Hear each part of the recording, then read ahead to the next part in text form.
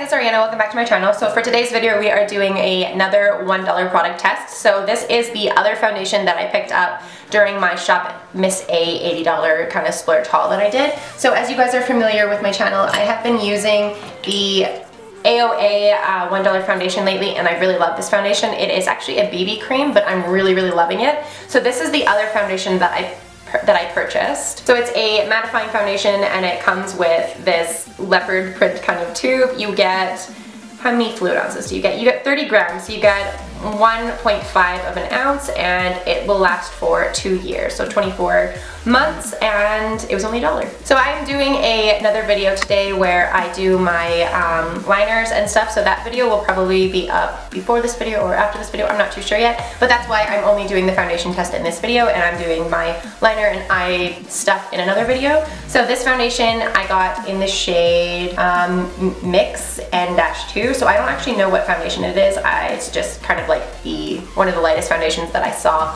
on the website and when I tested it on my hand it blended into my, my color of my skin very well. So I'm excited to see if this works. So I'm gonna try it with my beauty blender that I need to wash and see how it works. So the only thing that I have on my face right, face, face, the only thing that I have on my face right now is my daily moisturizer that I use every morning and every night. So I don't have anything else on my face. So I'm not gonna test it with primer because I think that the foundation or the cream that I have on my face is already gonna be a good enough primer. So I'm not gonna use a primer um, on my face today just to see how this foundation works just by itself with just like a moisturizer that I throw on every day.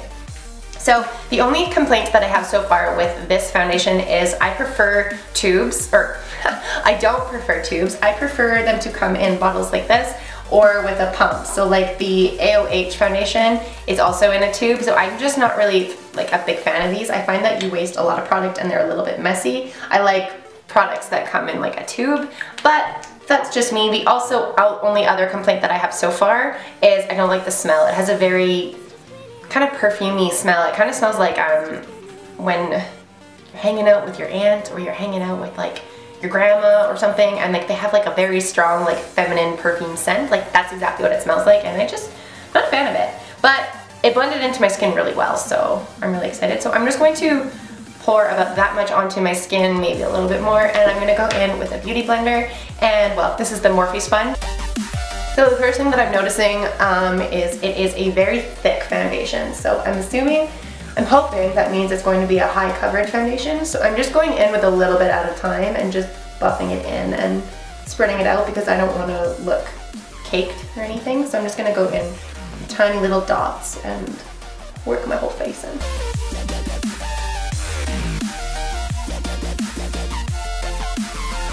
So that is the first layer of the foundation on. Um, lighting a little bit.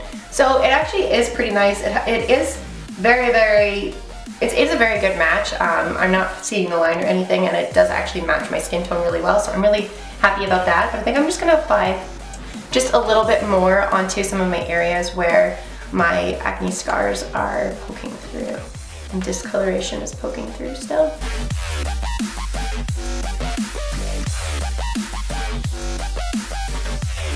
So, so far so good. It's not sinking into any of my fine lines or anything. It looks pretty good actually, so I'm gonna zoom you guys in and just show you guys what it looks like up close. So up close, this is what my skin looks like. I'm not finding that it's really sinking into my forehead lines at all really quite yet. It's not sinking into my smile lines yet, and it actually is a really good color match, so I'm actually pretty impressed with it. So now I'm going to quickly go do the rest of my makeup, so my bronzer, my foundation, or my foundation. I'm going to go do my bronzer, my highlight, and all of that stuff, and then I will come back once my makeup is completely done and we can do the wear, we can start the wear test. One last thing that I want to mention, I'm not going to be using any of my concealer on my forehead or the rest of my face just because I want to test out this foundation. The only parts where I put the concealer down is underneath my eyes to brighten them up. So I'm not going to be using the concealer on anywhere else just because I want to see how the foundation performs forms. Okay, so now that I have my full face of makeup on, it is 12.57 right now. So 12.57 and I'm going to be leaving this makeup on pretty much all day so I will check back in throughout the day and let you guys know my thoughts and what I'm seeing and so far it looks great it doesn't look bad at all for uh, especially for a dollar so the entire makeup that I have on right now I have my brows done which I used my ABH brow pomade and I also use a NYX pencil in the shade Brunette just because I have dirty blonde hair and I like my brows a little bit darker. So I have these two products and then I also use the Platinum Ice for my highlight. As you guys always know, I always use ice cold. And then I used my NYX Contour and Sculpting palette. I like to use the warmer shades just because I have a warmer complexion.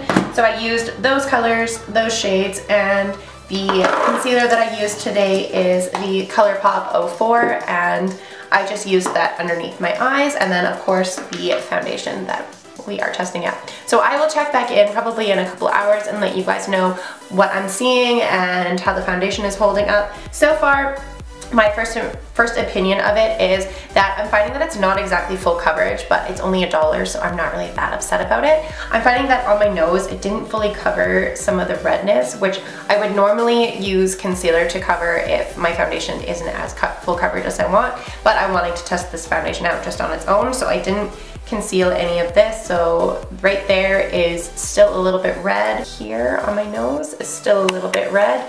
And then underneath my eyes. They're not creasing or anything, it's just sinking into my under eyes just a little bit, but which is pretty normal for me. And then my forehead, I'm actually really impressed. It hasn't sanken into any of those lines yet, and my smile lines are fine. So I will check back in in about, I don't know, three or four hours and let you guys know what I'm seeing. One last thing that I forgot to do.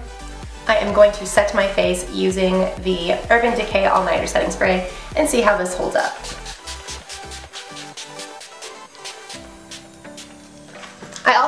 The Morphe spray, so I just picked it up. So if you guys are interested in a review on that and doing a wear test with that spray, let me know. Okay, so it hasn't actually been three hours. It's been like, I don't know, 25 minutes.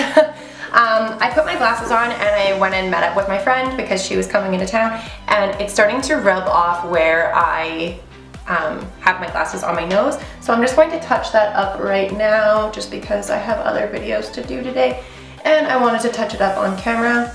So I didn't add any extra product, I just used the sponge that I used to apply it and it blended out easily. So this is definitely a foundation that will probably rub off if you are close to somebody or you get too close to somebody's clothing or if you wear glasses. So I think what I'm going to do is I am going to set my nose again just with my setting spray and hopefully that helps it a little bit but I'll see you guys in a couple hours. Hey guys, so this is the very first check-in that we're gonna be doing. It is 4.04 p.m. We said that we were going to check in after three hours, so that was at 12.57, so now it's 4.04, so it's been three hours. The only thing um, that I'm really noticing with this foundation is that it has rubbed off a little bit on my chin right here, on my nose a little bit, and on my forehead it is sinking in. So what I've been doing, and I've just been sitting here looking at it, I've just kind of buffed in the fine lines a little bit with my Beauty Blender. Haven't added anything extra to it, it's just